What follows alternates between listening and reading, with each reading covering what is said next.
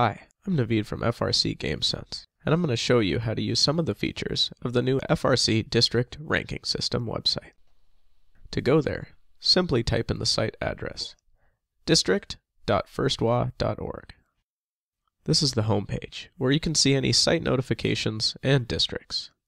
Down here, you can see available district rankings.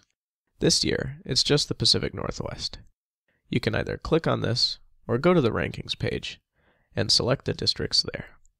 Here, you'll be able to see the live rankings even during events. It shows a team's current points, team number and name, and individual event scores. You can hover over an event and it will pop up with the event name. Or you can click on that to view more about that team's performance at a specific event. You can also see a team's current status for district championships or world champs, and if they have declined or not. The key is at the bottom.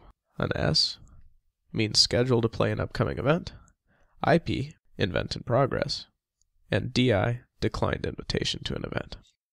You can also see a team's rookie bonus here. By hovering over the points, a pop-up will show you the team's rookie year. Let's check out a team page. By clicking on the team, you can see the breakdown of the score for the event. And below, the match results,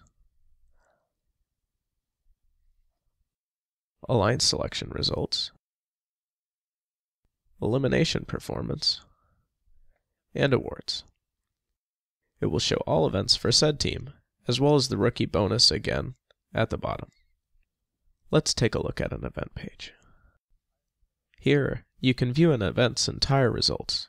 This includes rankings, awards, alliance selection, qualification, and elimination match results. On the scoring page, you can review the point system and see a breakdown of each type as well as the tie-breaking system. It also provides information on how a team qualifies for the district championship and the world championship. That's about all. If you have any questions or corrections, see the contact page.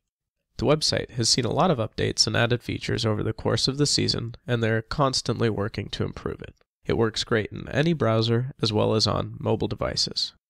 Make sure to send any questions or corrections to the development team. Hopefully, this site will be coming to a district near you soon.